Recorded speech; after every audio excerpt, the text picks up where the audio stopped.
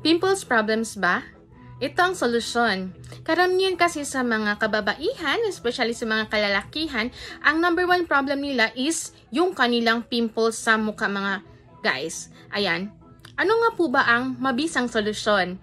Yung ginagawa ko is just simply to use lemon guys or else calamansi. Pwedeng pwede mga suki loves.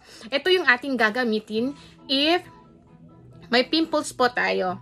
Napaka-effective nito guys, pangtanggal ng mga pimples. Ayan. Ganito lang po yung gagawin natin guys. Ipahid natin itong ating lemon sa ating face. Ayan. Pwedeng pwede pong gamitin ang calamansi if walang lemon guys, mga suki loves.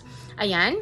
And then, ipahid lang ito guys sa buong mukha. Since napaka-asim nito guys, tsak, namamatay mga bacteria, especially po mga pimples at mabuti itong gamitin guys kapag gabi. I-overnight ito guys. Ha? Pwedeng pwede din ito guys gamitin sa mga may balakubak or mga dandruff guys. Ganyan ninyo lang siya guys sa mga may kaspas or mga balakubak guys sa kanilang mga scalp. Ganyan lang po talaga guys ang kailangan gawin.